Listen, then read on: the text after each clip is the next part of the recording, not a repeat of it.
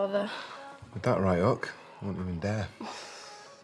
I am so sorry about that. It's just your head got in the way. And Yeah, don't worry. I'll tell everyone that a fence post bit me back. why can't I find a man like you? Everyone I get is just absolute liars. I'll end up being my mum before I know it. Maybe you should just set your sights a bit higher. Not round here. I wish.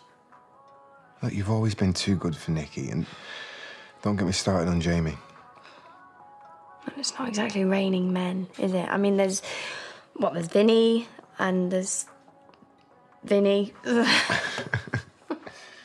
you're funny, you're a successful businesswoman, and you are good looking. oh well, carry on. I could get used to this. Well, all I'm saying is, don't be so hard on yourself. Does um, does that still hurt? No, just a scratch. Wait, wait let me see.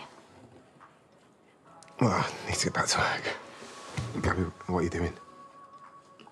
Nothing. I, I just thought. Yeah, well, don't, ever. It's not what this was about.